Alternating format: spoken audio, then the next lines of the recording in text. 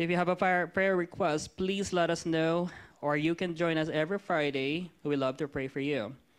So we do have the Bible verse in the book of Psalms also, chapter 34, verse 17 to 18. And it is written, The righteous cry out, and the Lord hears and delivers them out of all their troubles.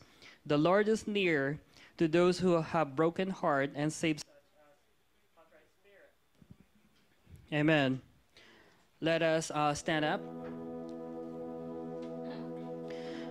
All right, so focus yourself to the Lord as we celebrate these services. Amen.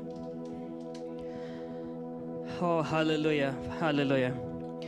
Father God, we thank you for this morning as we wake up as a privilege of blessings to us, Lord Jesus. Father God, we thank you for unconditional love and the endless mercy and grace to our life. Father God, we acknowledge your presence as the King of Kings, as the Lord of Lords, in Jesus' name. We invite you, Holy Spirit, in this place that give us joy, peace, hallelujah. And most of all, Lord, to feel your presence, that you care, that you will never leave us nor forsake us, in Jesus' name. Father God, we lift up to you, Lord, whatever you've seen in our heart, in our mind that trouble us to worship you and to serve you. We ask for forgiveness. We ask for freedom to worship you, Lord Jesus. And we thank you for the power of the Holy Spirit that guiding us, Lord, that protecting us, that giving us the joy to see you and to feel you, Lord. Every seconds of our life belongs to you, Father God. We lift up to you this Sunday service, Father God from our worship leader to our pastor to my brother and sister, hallelujah, that gave their time at this very moment. We pray for the fresh anointing, Lord Jesus, that will fall afresh in Jesus' name. Anoint each everyone, Lord Jesus, and give us the desires of our heart as you promised that you will never leave us nor forsake us, Lord. As I proclaim the victory in the name of Jesus, only you, Father God, as we proclaim, hallelujah, hallelujah. We thank you, Father, in Jesus' name. Amen.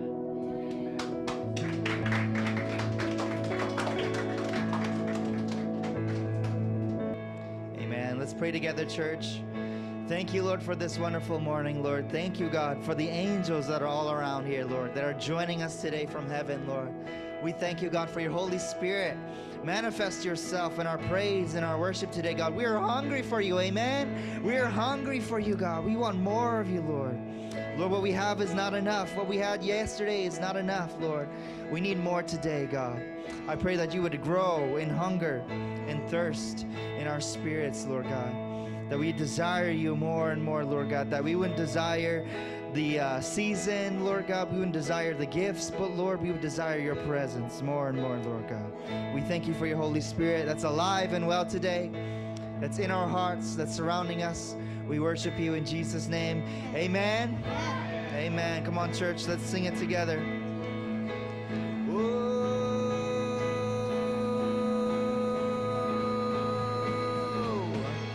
Let's sing it.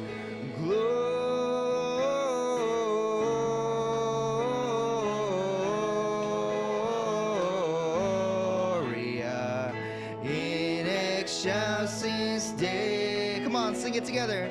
Gloria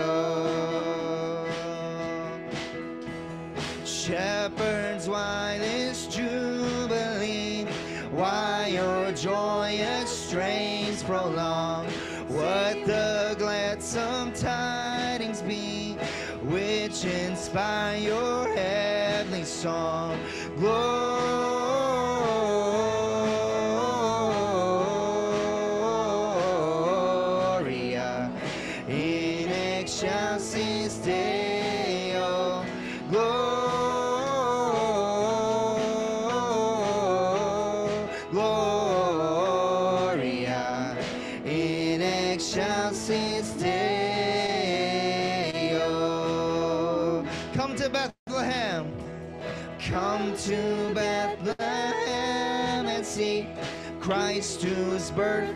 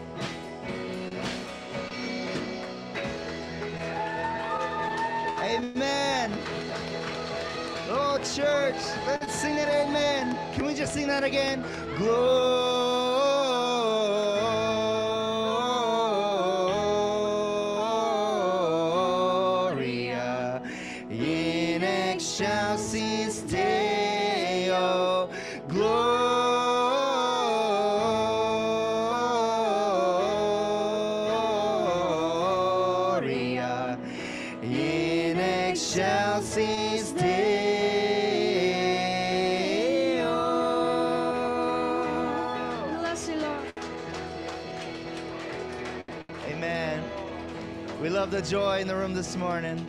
Amen. Let's keep it going.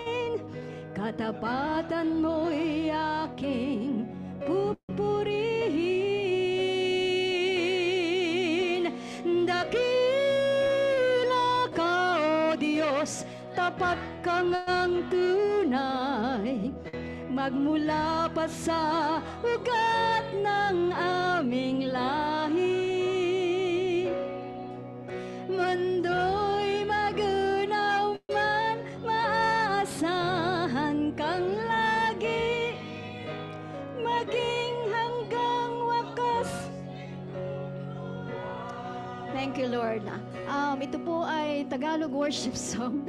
So, would you mind to please, uh, we have an English subtitle here. Would you mind to please, uh, yeah, read? Um, please bear with me. Pasensya na po kayo. Desire po kasi ng uh, puso kong umawit ng Tagalog. Wala naman pong kaso sa English, kaya lang po ay, ewan ko po. So, lagi ko pong hinihingi yung approval pag ako po'y kumakanta rin ay ah, tinatanong ko sa Lord yung aking kakantahin. Ibig ko po kasing ah, kantahin ko ay yung ma- magugustuhan ng Lord dahil pag nagustuhan ng Lord, naniniwala po akong malulugod siya at bababa ang presensya niya. Alam niyo po, um, konting testimony lang. Dalawang buwan po may tiisin kami pero um, wala pong nakaalam, kaming tatlo lang. Dahil naniniwala po akong dahil may Diyos tayong nakikinig at pwedeng ah, panghawakan ng katapatan niya. Kahapon po ay tinugunan Diyos yung tiisin namin. at ang awit pong ito ay, pag umawit din po, tinatanong ko sa Lord na akin po ba ito Lord o sa kanila? Minsan po'y sumasagot ng Lord na sa inyong lahat. So kahapon po ay ah, naranasan ko po yung katapatan ng Diyos. Yung po bang yung pabor ng Diyos na naniniwala po akong yung mga anak lang po ng Diyos ang nakakakuha ng nanan, naniniwala po ako na tunay na tapat ang Diyos. Tunay na tapat. Hindi po siya late. Siya po ay napaka-timing na Diyos. Kahapon po ay habang umuwi po kami, naiiyak po ako sa katapatan ng Diyos. Kaya sabi ko, nung pinapractice ko po ito kagabi at kanginang umaga, umiiyak po ako. Sabi ng anak ko, ba't ka umiiyak, Nay? Napakatapat ng Diyos, anak. Napakatapat ang Diyos. Napakatapat ang Diyos. Napakatapat ang Diyos. Napakatapat ang Diyos. Sa diyang kay buti ng ating Panginoon nagtatapat sa habang panahon. Maging sa kabila ng aking pagkukulang biyaya niya'y patuloy na laan. Katulad ng katulad ng pagsinag ng gintong araw patuloy siyang nagbibigay tangla kaya sa puso ko't damdamin katapatan niya'y aking pupurihin. Dakila ka o Diyos. Dakila Diyos tapat ka ngang tunay. Magmula pa sa ugat ng aming lahi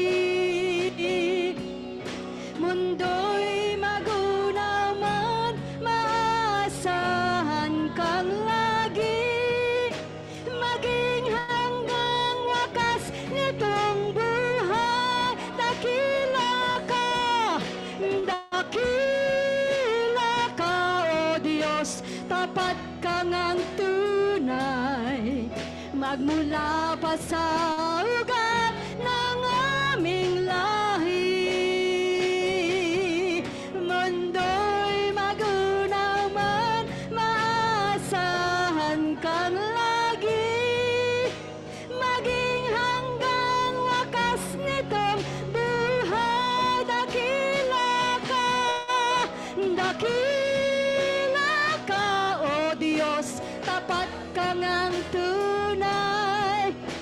Magmula pa sa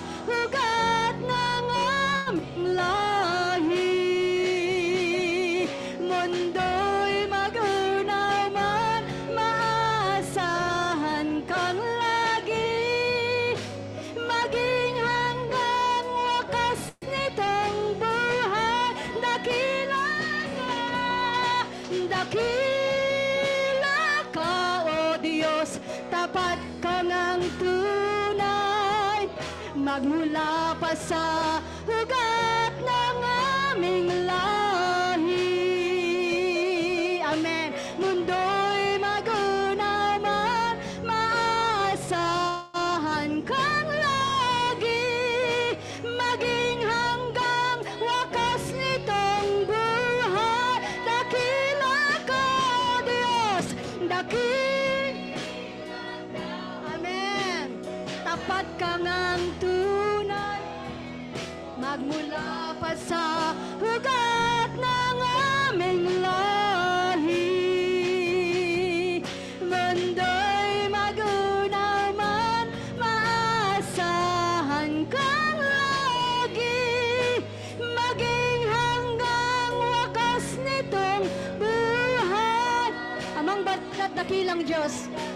Salamat po sa iyong katapatan. You are worthy to be praised.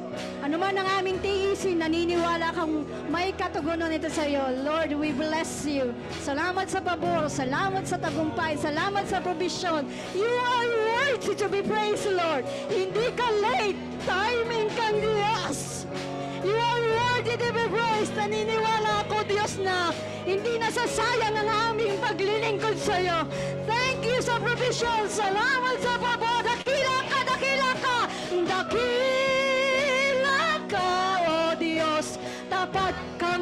Tunay. Magmula pa sa ugat ng aming lahi.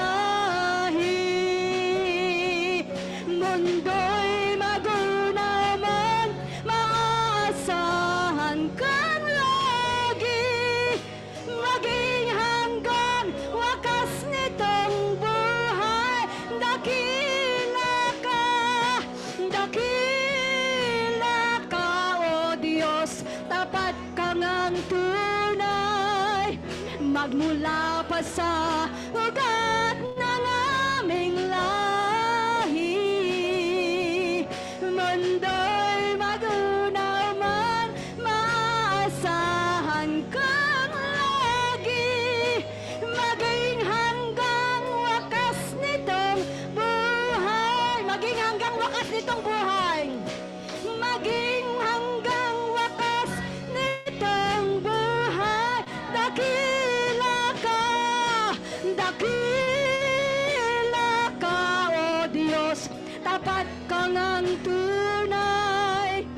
Magmula pa sa ugat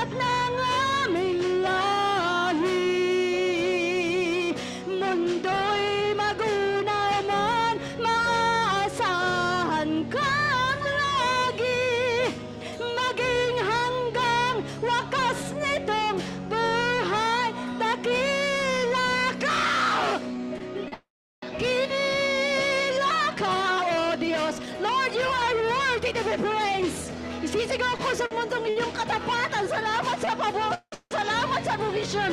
You are worthy to be praised. Hindi ka nagkukulang. Hindi ka nalilate. You are saving,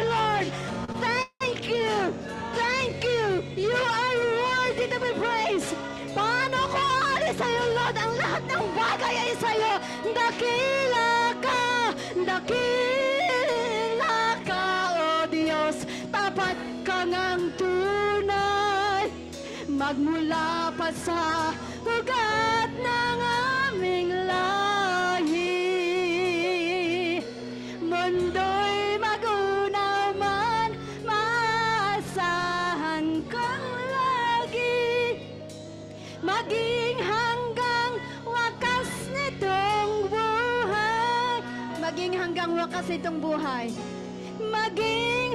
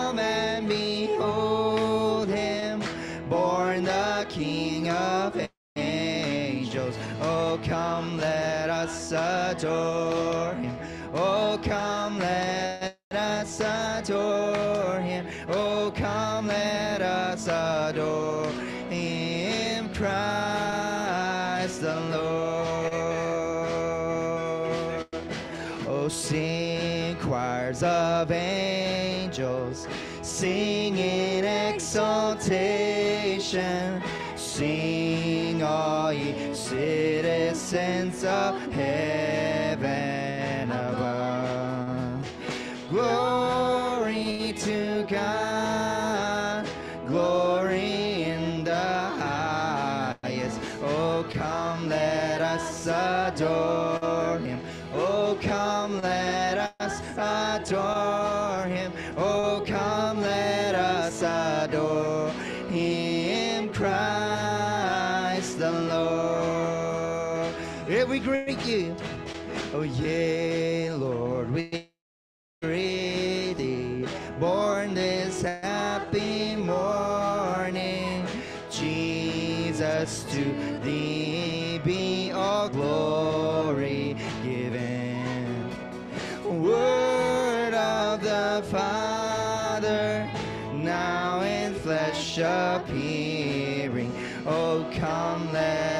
adore him.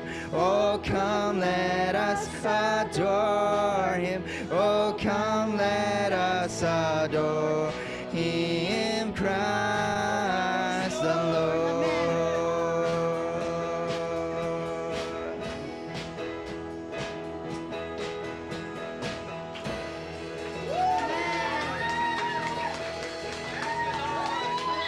Let's make some joy for the Lord. Rejoice. We rejoice. Amen. Amen. The Bible says, rejoice. Again, I say rejoice. Sing it again. Rejoice. Again, I say rejoice. One more time. Rejoice. Again, I say rejoice. Amen. Thank you, God. Amen. You can be seated now. Thank you. Amen. What a powerful time of worship. Amen. Amen. It's hard to follow that uh, act. Um, so, it, whatever I've prepared after worship, I'm changed. So, this is uh, to speak about tithes and offerings, or I say giving and receiving. And and who God is in us. So, because Christmas is coming, or it's already here, I felt it here already, the appointed day, uh, there was a lot of giving. And we know everyone gave. Mary, she gave her body, her womb. the passageway for Jesus into the world. Joseph, he made a leap of faith. What other man could have walked in his shoes? I don't know. And the shepherds, simple people living a quiet life, I, my imagination says, uh, they quaked and they came. And then we have the, the barn animals. They gave up their space. And we know the manger was given by the animals. So, um,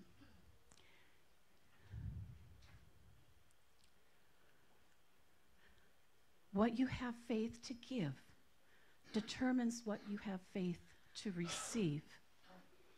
So, of God's own, out of his own being, who he truly is, he had faith to give his only son.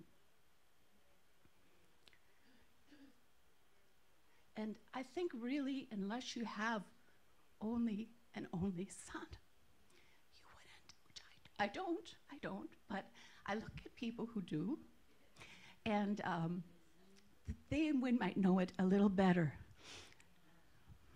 than those that don't. But it is the story of the Bible um, about the Father and the Son. So when God sowed his only Son, he had faith to give what he had determined out of the faith of God, what he had faith to receive. showed to um, Abraham, just an example of whatever we can't imagine, billions of stars. So is, that is what God's foresaw. There would be billions of sons coming to glory. So God sowed with an intention to harvest billions of souls. And so I say, when we are giving, we have to have an intention. What are we really willing to receive by faith? Um, there's nothing we can really uh, end our lives very uh, satisfied with if it's just about me. So um,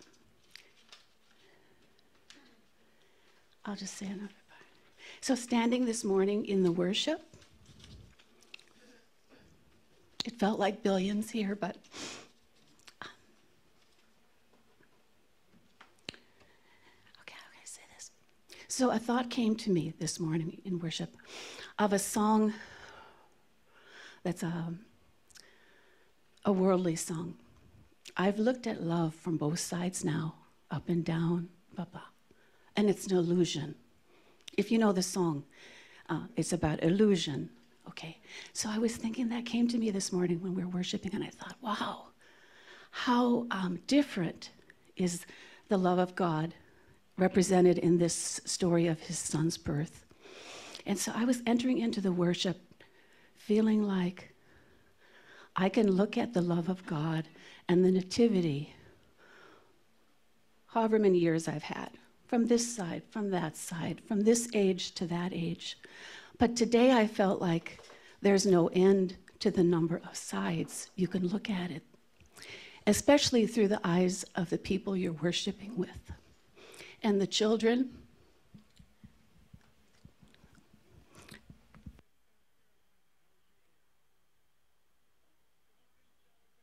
Thank you for that powerful uh, exhortation and what a wonderful word what a wonderful revelation that you have for the Lord. I think, I believe every one of us here, they have this moment. And I have a moment a while ago uh, while we're worshiping the Lord, God speaking to me a lot of things. In my mind, you know, there's a lot of things that in that I'm I'm asking God for. And and those are the things that I've asked God for is my hope in Him and all of us have hope. We are coming to church. We are going to do these things because we have hope. Amen. And today, we're just going to listen to the word of God, to, to his voice, and see what God, we want more. We want more of God. Lord, we want more of you today. We ask you, Lord, to come, Holy Spirit. Bring that hope to us. Bring that peace, love, and joy as the season uh, uh, begins. So, Lord Jesus, we know this is just the start of, of hope. This is just the beginning of knowing that you are working. We are serving the living God. God is not dead that we believe. He is alive. You are a de- redeeming your redeeming love brings us to hope, to peace, to love, and joy. And come, O Lord Jesus, we ask you, Holy Spirit, to be with us today and guide us, lead us to all truth. Lord, let your people hear you, hear your voice. Let us hear you, Lord. And we come here, Lord, because we're hungry for more of you. I pray this in Jesus' name. Amen and amen. All right, so let's uh, begin with uh, the topic, uh, the, the third uh, part of our little series on Christmas, the Advent of Christ. And we're in the part three, and we have uh, today I'm going to talk about Jesus' hope, and Jesus hope, okay? And so to begin with, I'm just going to have a little bit of review from, from last Sunday that we talk about this. Uh-uh, what I'm doing. Uh-uh. Uh-uh. Can you put me in that, fr- yeah, please, in the beginning, the very beginning? Okay, the, the, there you go. The disciple, the, we have to re- review this in Isaiah 9 6 that Mickey emphasized the six gifts that, that God bring us to, uh, unto us, you know. Uh, so, for unto us a child is born, unto us a son is given, and the government will be upon his shoulder, and his name will be called Wonderful, Counselor, Mighty God, Everlasting Father, Prince of Peace. This is full of hope. The word, the statement itself that it says, for unto us. Now, many people might think about, you know, that this is for you. This is the gift that I'm giving you today a, a wonderful counselor, mighty God, um, everlasting Father, and Prince of Peace. Now, with that, to all, today, all over the world, many people looking for an immediate remedy for their, to their physical and political problems like endless war, complicated life struggles, and no peace at all.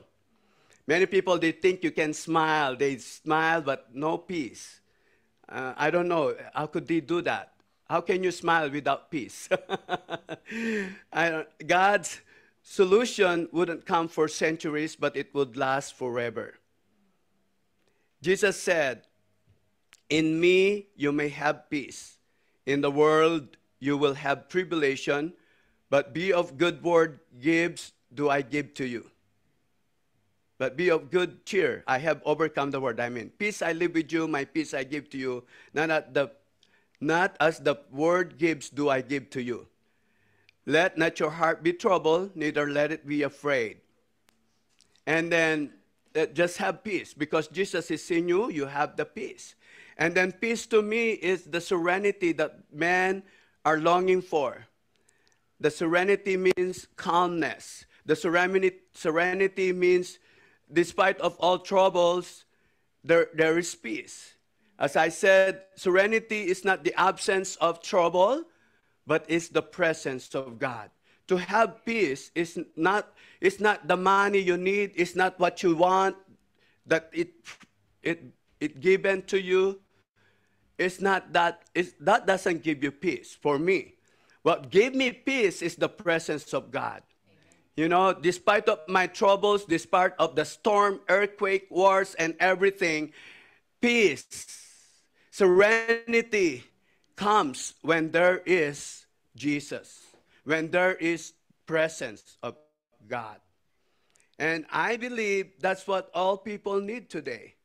Christ is what humanity needs. Is the King of Kings and Lord of all lords, the only king who could reign forever is one who would live forever, and the only one who would rightfully hold God titles was God Himself. So, so my prayer and my desire eh, that Jesus will reign in us and in the world. The only thing that can, God can reign in this world is for us to believe and for us to, to desire that He will reign first in us and then to this world. Amen. Now, that is my hope.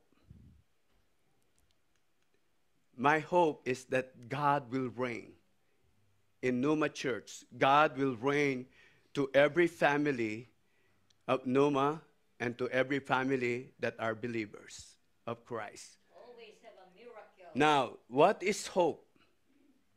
Hope is a feeling of expectation and desire for a certain things to happen.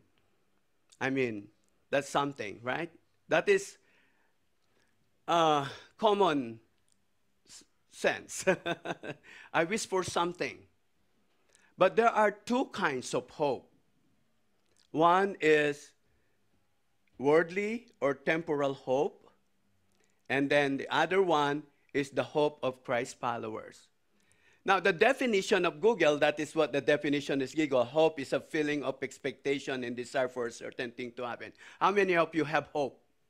How many of you have wish? I have wish. I want something. Do you have do you want something for Christmas? All of us. Wow. Let's find out what do you want for Christmas. okay? And that is your wish. That is what you hope for.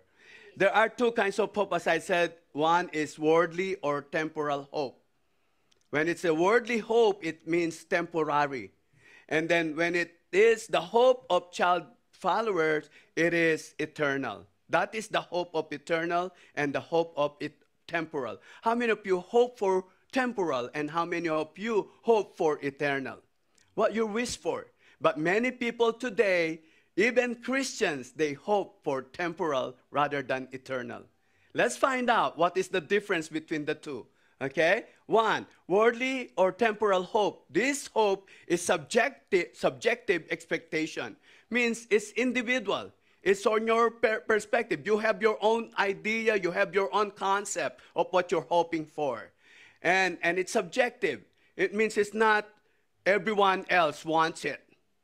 I want Lamborghini for Christmas. Maybe, maybe Christian want a big house for Christmas. So it's subjective, right? Now, it may be solidly, solidly based or misguided. That's the, that's the danger part of it. As it does not considers God's will.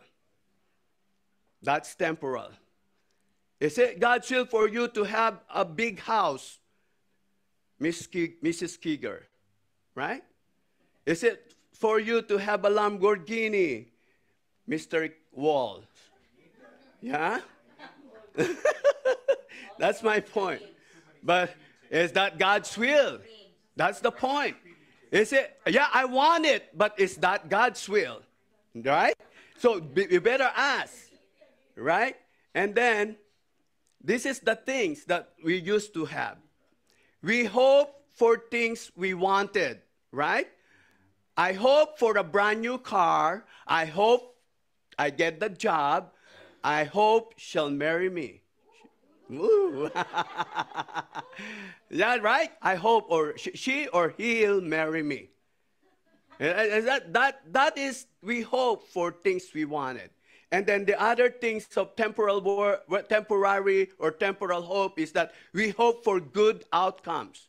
I hope my child returns home safely. I hope don't get sick. I hope I will be healed. Pastor, is that wrong? No, it's not wrong. It's just somehow it's misguided, misguided because what we wanted is what we will, not the will of God.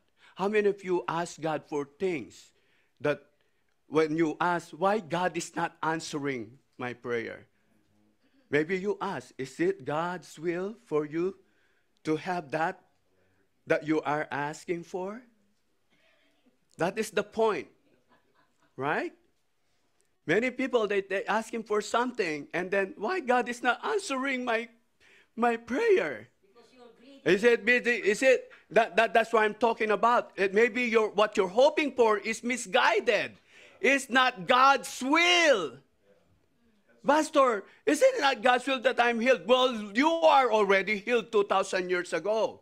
But you keep asking it that you wanted to be healed. But you are already healed 2,000 years ago. So, I mean, you can ask God for what is His will. Many people miss the point of praying. They pray for things that they wanted, but they don't pray for the what God's will in their life. That's the point. Now, let's proceed. Proverbs 28, verse 10, it says this The hope of the righteous will be gladness, but the expectation of the wicked will perish. Whoo, powerful, isn't it? That's what I'm talking about, that we misguided what we are wanting, what we were hoping for. 1 Timothy 6:17 Instruct those who are rich in this present world not to be conceited or to set their hope on the uncertainty of riches, but on God, who richly supply us with all things to enjoy. I, I like that. It's saying that I will be grateful for everything that God's given me. I don't need to ask God because God provided already what I needed. It, this is the thing that I'm not saying do not work hard, right? Many people work hard for the money because they wanted to supply for other people. Like Filipinos, come on. we work hard to, to support our Filipino family back home that they are poor. Do you think that they are poor? That's wrong concept. Because if you believe that you are a believer of Christ, you are prosper. You are pros- prosperous. Mm-hmm. Because that is the promise of God. The, thinking about prosperity, like here in America, every Thursday, every Friday, every Friday I have to pick up stuff from, from other uh, community of church that we have. And then there's a plenty of food. Every, you, you will see on, on the wall right there, on, on, on the hall that you can, when you get in, there's a lot of food there. We are prosperous, but we don't acknowledge our prosperity that God has given us. We're not grateful enough. Well, we have so many potatoes and onions for free. And, and in the Philippines, they said onions is, is so expensive right now, and they can't, they can't afford it. And they complain. You will see that on the news. I said, well, don't eat onion then before, before you complain. Right? You have so much complaint. Do when, when, whatever you have there that you can afford, eat it. It is God's provision. It is God's will for you to have it. If, if, if, if you think that the onion is expensive, then don't buy. Maybe it's not God's will for you to eat onion. Do, do you hear me? Yes. Right? Maybe that causes you sickness. Maybe that causes you, right? Well, aside from onion, meat are getting high price right now, they said. But you know what? Don't eat meat. I think it's good for your health. I'm just saying this. Things you know, it's not about the richness that you're thinking that you have what you have and you get what you want. Yeah, I, I, I heard this when I was young and when I was in college. There's a young lady that did, she pretend to be rich and to be wealthy. You know, what Michelle wants, Michelle gets. You hear me? That's, that's many people today. Yeah, young people today are like that. That's their mindset. And I heard that before. That is not that is not a new thing. It's it happens before. Yeah, it happens on my time and it happens today. And it's happening today, okay? So now let's proceed to the second point. The second the, the, difference between the hope of temporal and the hope of eternal. So the hope of eternal is the hope of Christ followers, and that's who we are. We are the Christ follower, and this is what we, we are. This is our definition of hope. Hope is the sure and confident expectation of receiving what God has promised us, has promised us in the future. May, tomorrow is the future. In, in an hour, it's a future. In a minute, it's a future. Right? Everything that doesn't happen yet, in time, it's a future. You hear me? And God promised us not only next year, in 10 years, in five years. No, expect today. Expect in one second, God brings that promise. Ate Tess made that statement on her worship time today. It's just, this is her testimony. The moment she is singing this song that she's about to, that she's singing it, it, yesterday, because it, it came to her heart because God's faithfulness it's on time. God is always on time. He never lack. He never, he, he never miss what you need. That's what he felt. She felt like that. Our God faithful is. And today, the same thing. In one second, maybe something happened. In 10 minutes, maybe something happened. So it's not just looking forward on one day, one year, two years, three years, or 10 years or so. Today, today, in the future, God made us the promise 4,000 years ago, 2,000 years ago. Promise is the promise of God is keep fulfilling it to every people that believe and follow Him. The believer's hope is not faint or obscure, which but an anchor, but, the, uh, but an anchor of the, for the soul, firm and secure. I believe that. the, the, the hope that I have in Jesus is my security. The hope that I have in Jesus is my assurance. To tell you the truth, I have experienced this for nine years. I have no driver's license. Uh, my driver's license expired. But my hope in God is, is something that God will bring me that protection and covering every day of my life because of the ministry that I have, that God put me into. No matter what, every day, do you think I'm not scared? Do you think I'm I have fear. I have no. I have all in this mind. I have. I'm concerned. Every time the police stop me and pull me over, Lord, help me. If there's something, you know. And one time we went to Montana, I got pulled over. But the police says, okay, I forgive you. you can just go ahead. right? So this is the thing, that the assurance, the security. But I'm not saying don't do that. I'm not saying take the risk, right? But there's something that when God tells you something, somehow you need to take the risk of it.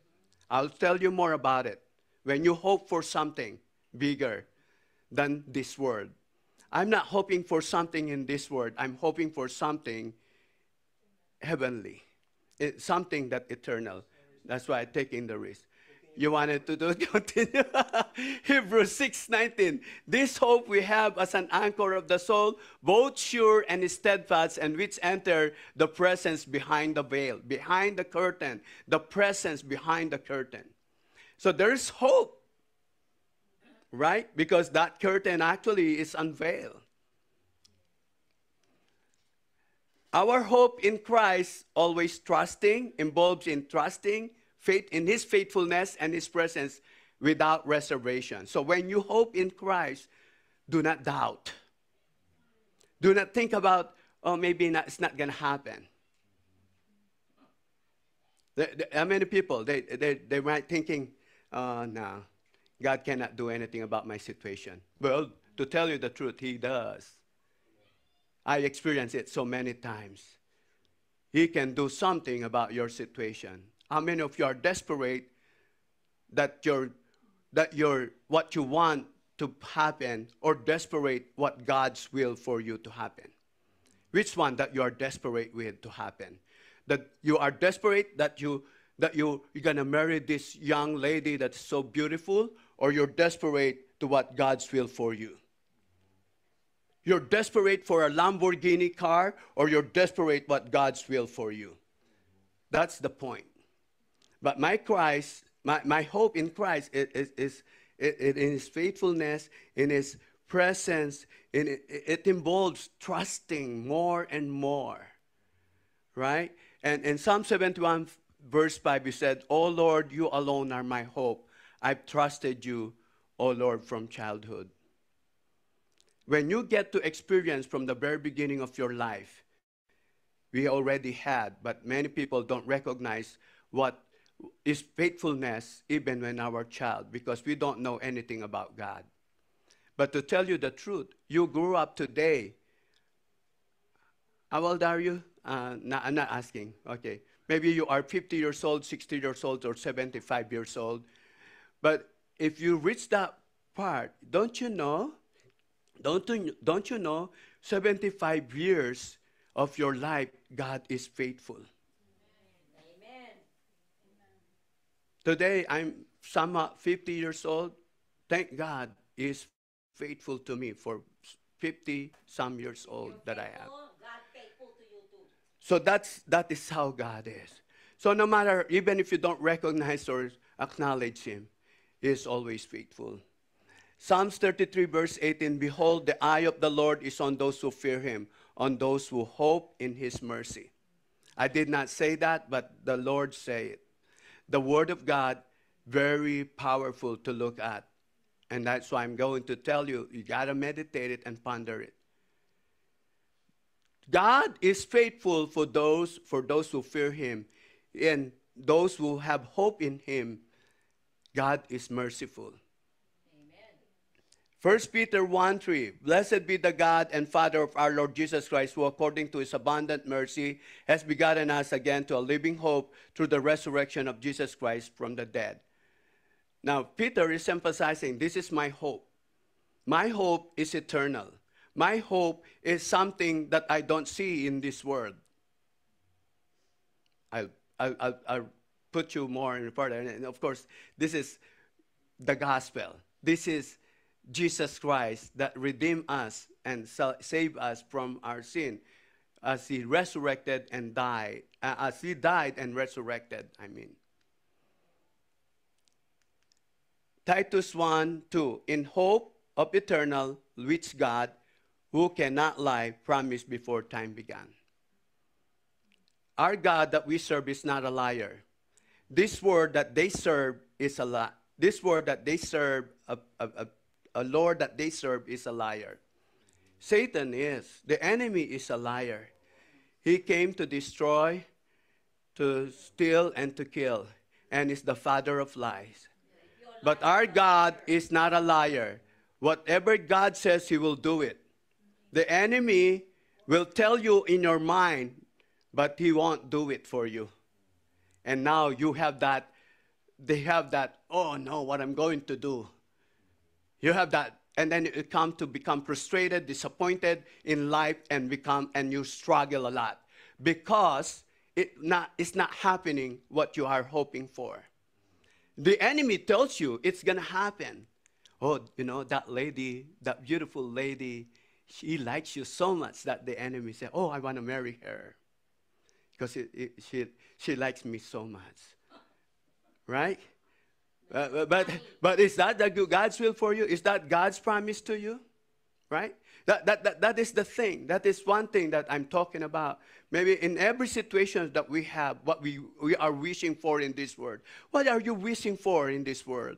Are you wishing for all of those things what we want? Are you wishing all for these things that we, we, we want something to happen and in our own expectation, but not God's will? Many things that we wanted is misguided. To tell you very carefully, listen that uh, listen to it very carefully what God is saying here. when you ask something for God, don't just ask something because you want it. Ask something for His will. Because He's our hope and He's going to give you. 1 John 5 18.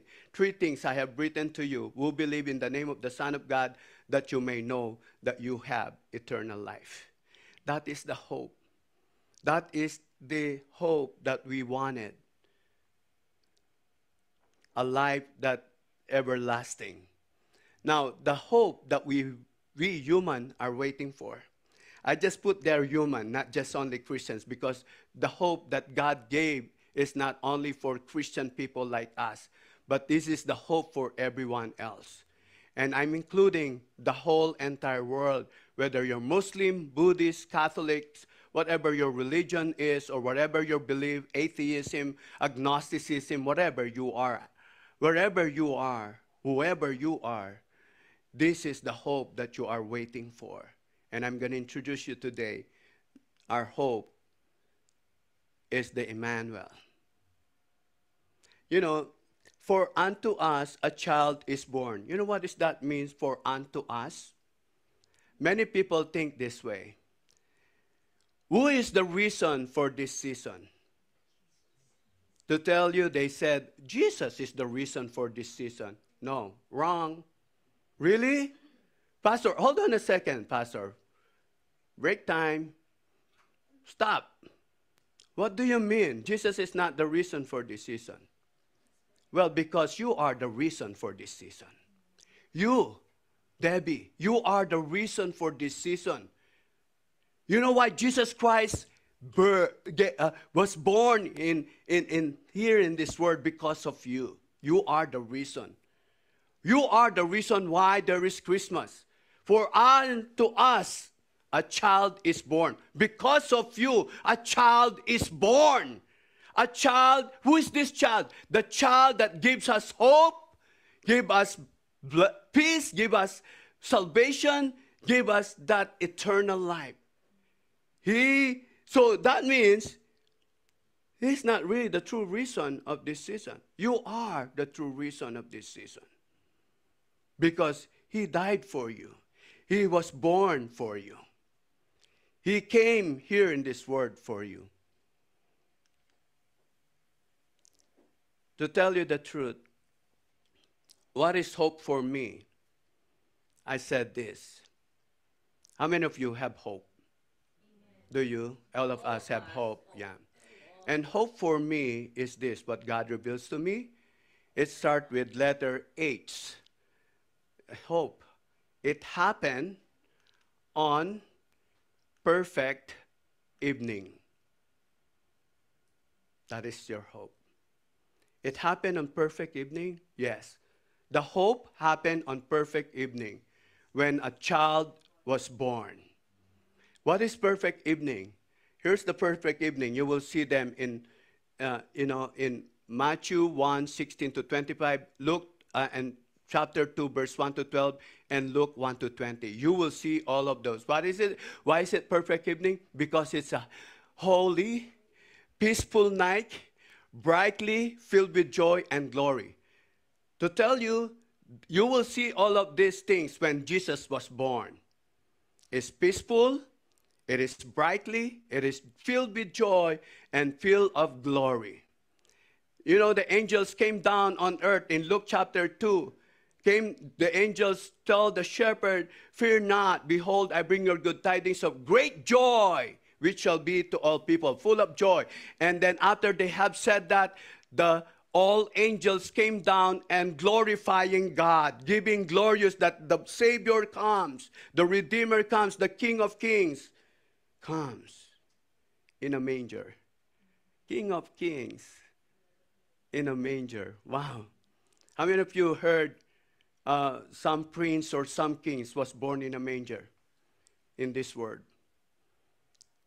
Prince Henry was born in a royal palace in, in United Kingdom. What is that called? Buckingham Palace. Now, this Prince of Peace was born in a manger.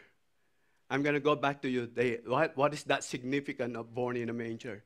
Okay?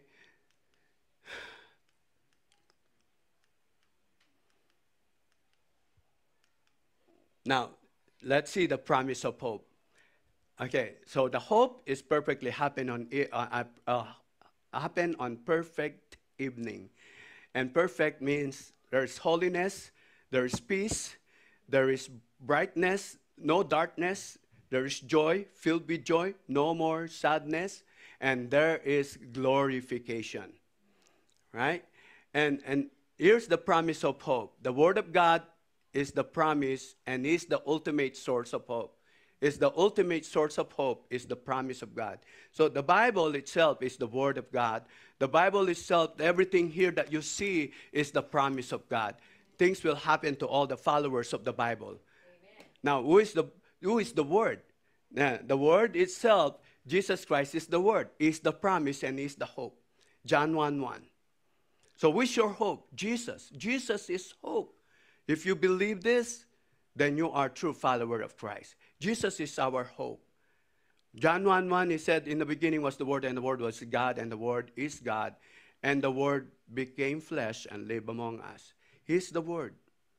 He is the promise, and He is our hope. I am convinced Jesus is the promise of hope. When there is promise, there is hope. And when there is hope, there is waiting. Oh, eh. When there is hope, there is waiting? Really? Yeah, that is the hard part, right? for all of us that are hoping for something. It's, there is waiting. And when there's waiting, there is perseverance. Oh no. Really? Yeah. You need to persevere when you're waiting. And the only th- and perseverance does not come out like that. It won't happen that way. You will learn from him. You will learn how to be persevere. And then when there's a perseverance and all of these things, there is expectation. Always. Expectation. We, we act confidently in our expectation because of Jesus our Lord. How many of you, oh, I will get this without Jesus? Think about that. How many of you desire for something or want something that you're going to get it without God? I'm going to I'm going to make this thing happen without asking God for. Many people like that. Believe it or not, even Christians do that. I'm going to do this because this is the way I do, this is the way I know how, right? But not really consulting, Lord, is this your will? Let your will be done. Christ Jesus is our hope. 1 Timothy 1 1 and verse 410, it says this. In 1 1, it says, Paul, an apostle of Jesus Christ, said, by the commandment of our God, our Savior, and the Lord Jesus Christ, our hope. This is why we work hard and continue to struggle for our hope is in the living God, who is the Savior of all people and particularly of all believers. I like the part of particularly of all believers. Are you believers? Then your hope must be in Jesus. And, and if your hope is in Jesus, you are what? You are secure. You can, be, you can struggle, you can suffer, but you are secure. So do not fear, do not lose hope, because Jesus is your hope. The living God is your hope. God's promises brings hope in Hebrews 6, 6 13 to 20. For example, there was God promised to Abraham since there was no one greater to swear by God to an oath of his own name, saying, I will certainly bless you and I will multiply your descendant beyond numbers. Then Abraham waited. See the word waited? Waited patiently. That's what I'm talking about. Perseverance and waiting. And he received what God had promised. When you persevere, when you're waiting upon the Lord, ready to trust him, you will receive what God has promised. Now, when people take an oath, they call on someone greater than themselves to hold them to it. And without any question, the oath is, is binding. God also bound himself with an oath so that those who received the promise could be perfectly sure that he would never change his mind. So God has given both his promise and his oath. See? Many people may have the promise to you, but their, their oath is not been taken care of. How many people, how many of you experience that somebody promised you something but never happened? Right? There are. I've been frustrated, I've been disappointed when I have when I have that moment. But you know what? I will not I will not depend or rely on those promises or I not even count when somebody when a people promise me of something I will not count on it. I will not expect from it. But when God promised me of something, I will expect from it. That is the assurance that I have because to, to God, He will never lie. He will never, His word, you know what He said? His word will not return void to Him.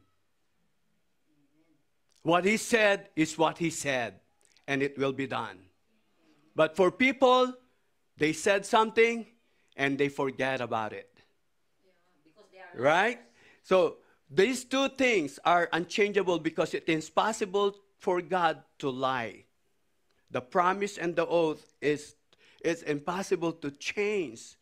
That God is not a liar that we believe. Therefore, we who have fled to him for refuge can have great confidence as we hold to the hope that lies before us. Amen. And that's why I'm praying for every young people, for every one of us that still have hope in life. This is my praying. Grab the things that what God has in store for you.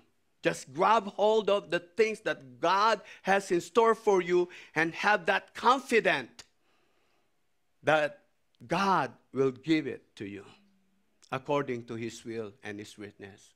This hope is a strong and trustworthy anchor for our soul. It leads us through the curtain into God's inner sanctuary. Jesus has already gone in there for us. He has become our eternal high priest in other Melchizedek. So Jesus has already been there, and he just wanted to give you that. He just wanted to pass that to you today. That hope. And my conclusion is this our hope is in Christ is eternal future. So the hope that we have is eternal, not temporal. Jesus, Joseph, Mary, wise men, shepherd, and Paul. These are the example in the Bible that somehow they give their hope completely and fully to the, to the Lord, to the Father. Jesus is one of the best example. I'm going to give you, but I will skip Jesus first, right? I will end up with Jesus. Let's look on Joseph. Without Joseph, in their culture during that time, you know, marrying somebody that is pregnant, that is per, not permissible. it's against their law. It's against their community and society. How can I marry this woman? My integrity will be banished with my for, because of my community don't like that part, right? But he took the risk. He took the risk of getting married to Mary because his, of his obedience to the Lord. Now, watch out for all of this, and uh, you know what I mean. Mary, the same thing. Mary did something that is incredible. You know, he just she just received what God tells her to do. You know, imagine I'm gonna get I'm gonna get pregnant. Right? I'm gonna bear this baby for nine months. And I'm gonna do it. It's not even my real son. It's just God used me as a vessel. How many of you you think that God will use you and then there's no benefit at all to take it? Like coming to church. What is what benefits me to come to church? What benefits me to sing a song for the Lord? What benefits me to play a piano, to play a drums, to, to, to speak in exhortation for what benefits me? Right? It's hard. But we took that risk to come to church to serve the Lord because we know we have hope. All of this, they have hope.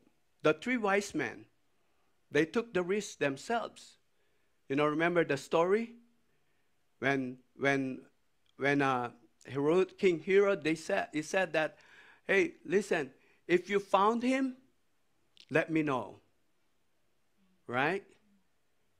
So, but they did not do that because the angel told them, no, don't go. Just go out of the way to Her- King Herod because King Herod has his own motivation to kill that baby. Because of his jealousy, because of his pride, he wants to kill that baby that called Messiah, the Prince of Peace and the Lord of Lords. So the, the three wise men, the angel came with the three wise men and said, Go this way, don't go that way. And they obey and they took that risk because they have hope. Paul, the shepherd, the same thing. They got fear when they see the angel. But because of their hope, they're hoping for something glorious, and then they follow the angels and they see that Jesus and bow down and worship him. Paul is another example. How many of you like Paul? You know, Paul, it, it is something. You know, Paul in Acts 28 20, he says this For the reason, therefore, I have called you for you, uh, I have called for you to see you and speak with you, because for the hope of Israel I am bound with this chain. Because the hope of my people, the hope that I have in me, to myself, and to my people, now I am in chain.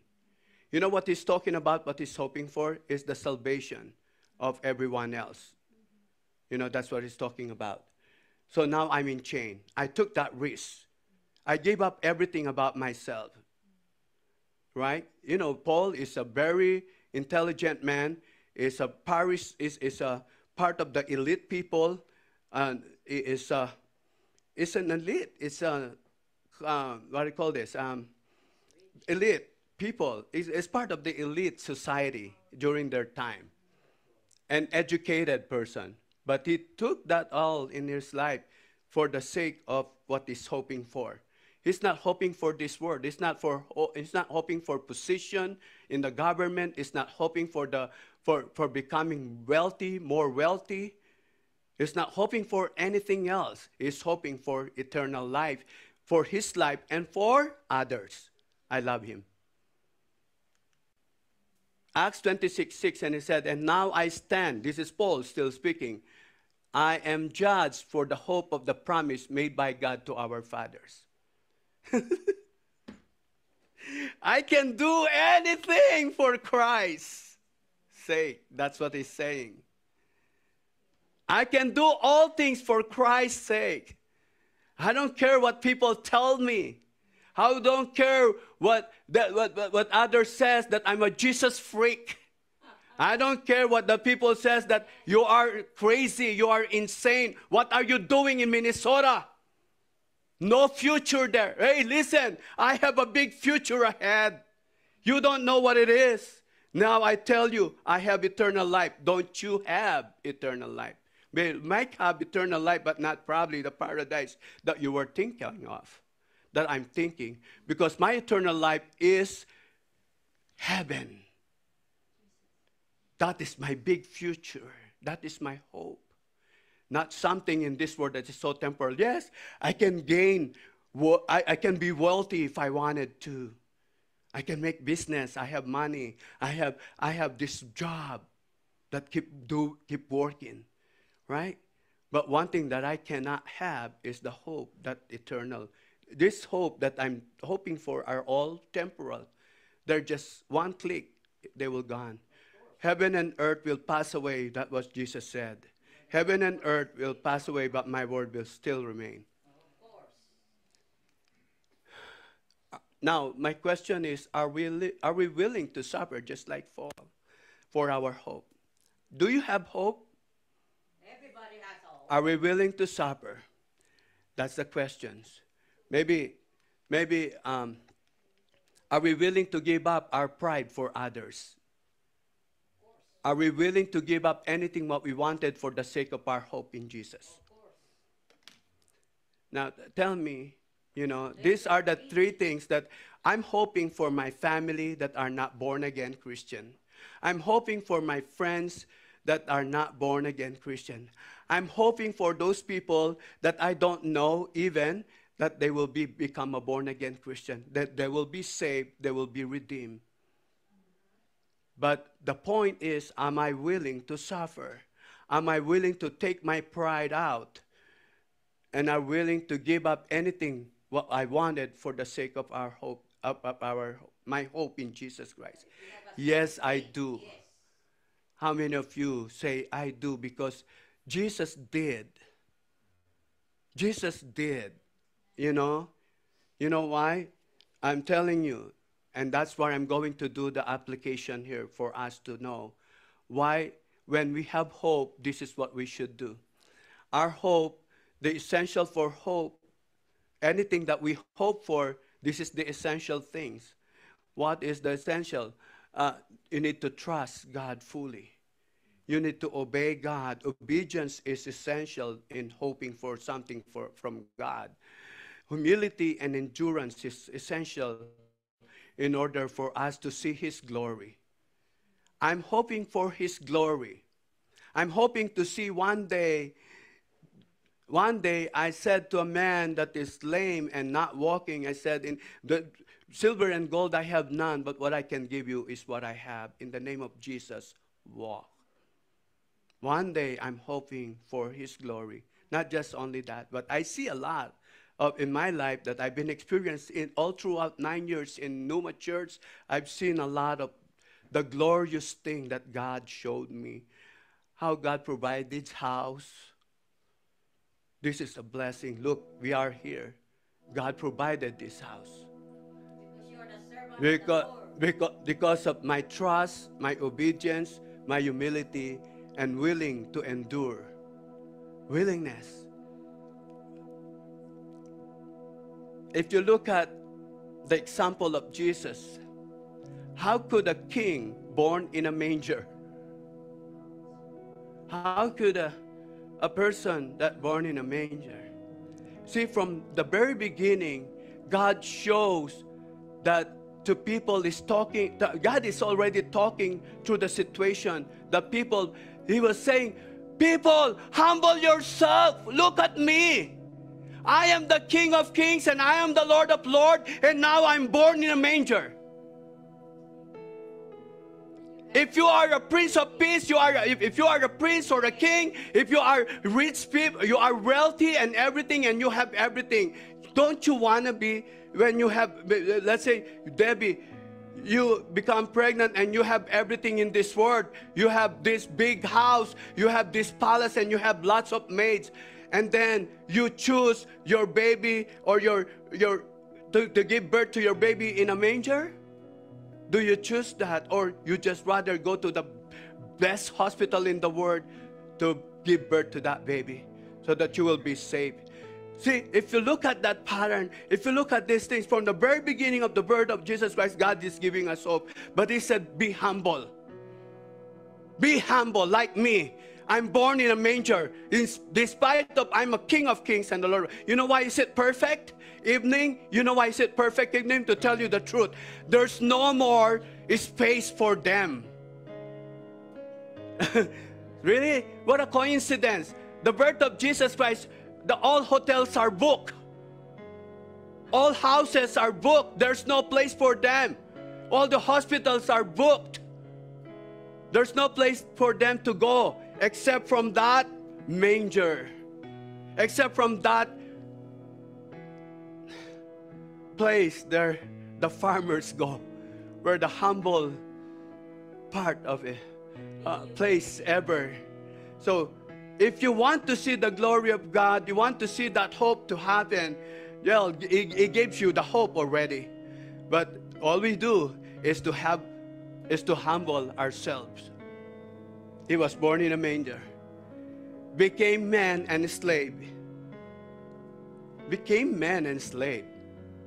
Right? Is God, but he became man and become slave. And that is his willingness to obey to obey until death on the cross. How many of you willing, for the sake of your hope in God, willing to die for Him? Willing to die for him? Are you willing to die for him? Are you willing to just let Romy leave these things and then let God's will be done in his life? Are you willing to do that? Are you willing to, to, to take all these things out from your life that it's, it's distracting you not to come to church, not to go to church, not to seek the Lord because, because of hope? Are you willing to remove all that in your mind? Are you willing to give up all the things that you wanted in life for the sake of the Lord?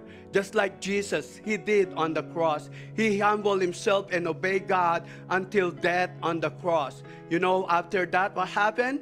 He was exalted as the King of kings and the Lord of lords, and the glory of God see in Him. The same thing. When we do, when we, we are ready and willing to do, willing to suffer, willing to give everything up to our for our hope in God, God will exalt you, God will bless you, God will give glory to you.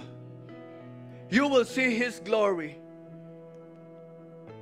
And last thing is this in Isaiah 40 31, with that endurance and trusting him fully, what he says, those who wait upon the Lord. See the word waiting? Many people don't like that word. When you hope for something, you don't want to wait. You want right now. Right?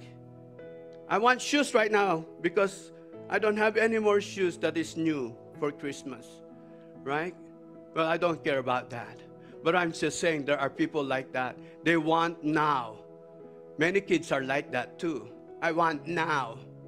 No, can you just wait? No, I want now. Right? And and and that is what it says here. Those who wait upon the Lord shall renew their strength. They climb up with wings as eagle.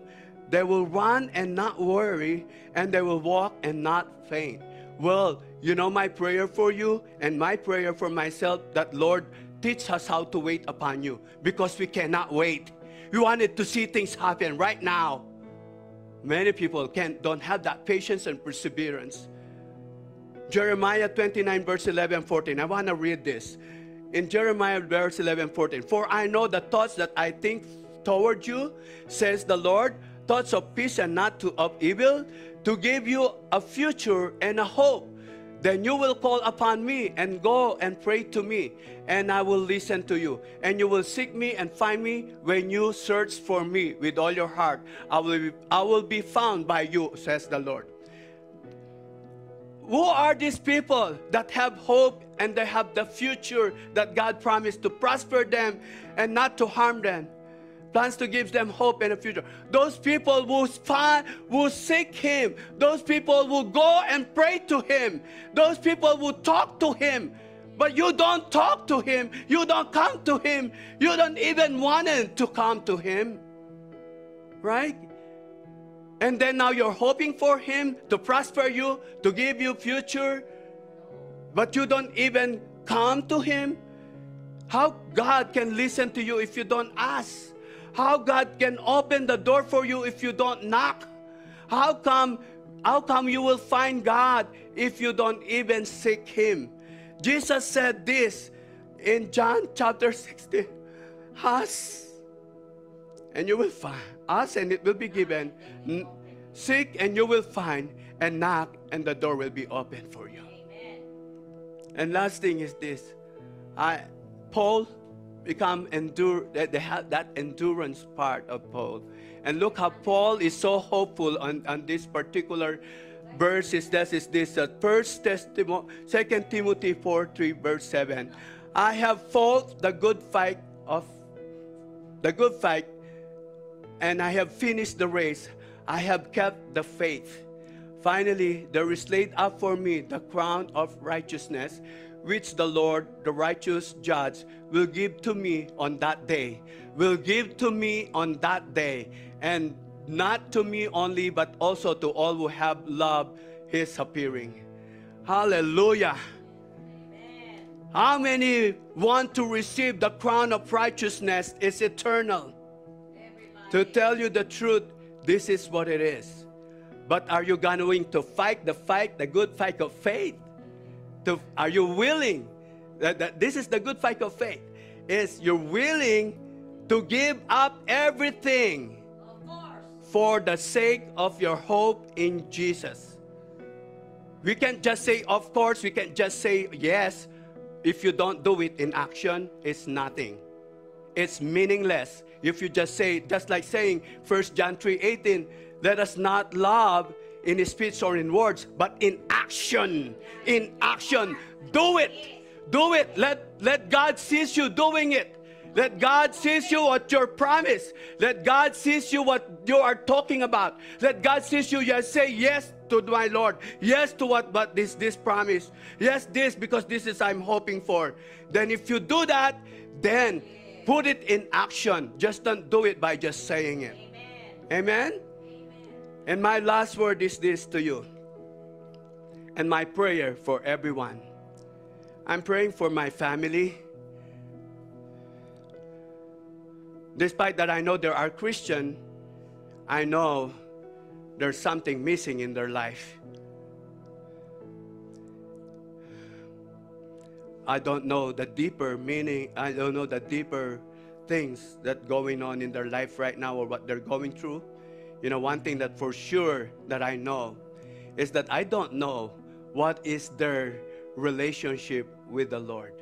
I'm not sure about that. What is where are they are at in their relationship with the Lord? I don't know. I know they're Christians, but I don't know their relationship with God. And I'm hoping for them. And even to the people that I'm with, I don't know your relationship with the Lord. You only you're the only one knows where you are at with God. But I'm hoping for you. Especially in this world out of not Christian, not unbelievers. I don't know where they are at in their life, but I'm hoping for them. I'm hoping that this will bring to happen that God brings us hope. That my prayers that may the God of hope fill you with all joy and peace in believing that you may abound in hope by the power of the Holy Spirit. Merry, hopeful Christmas to you all. God bless. Let's stand.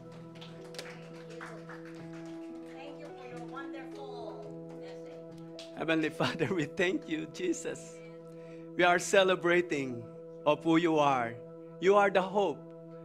And we are here together, come together in fellowship, celebrating. My hope is in you, Lord. My hope is in you, Jesus. My hope and my life is in you, Lord. And bring that hope to my heart and for the people that are hopeless, people that are confused, people that are disappointed of life, people are depressed, people that are sick, people that are ill, bring hope in them. Bring hope in us as a Christians that we don't lose our hope in you that we don't give up our faith despite of all troubles, despite of all circumstances in life. We should come and give thanks all the time to you. We should we should come and, and acknowledge you every day of our lives. And I'm hoping and myself hoping for more of you in our lives. And let it be. May the bless, may the Lord bless you with their with this hope, the promise of hope that is in Christ Jesus. May give you may the Lord give you peace, joy, love to empower you to stand firm, to be courageous and to be strong because God is with you. In Jesus name. Amen and amen. Amen. Thank you, Lord.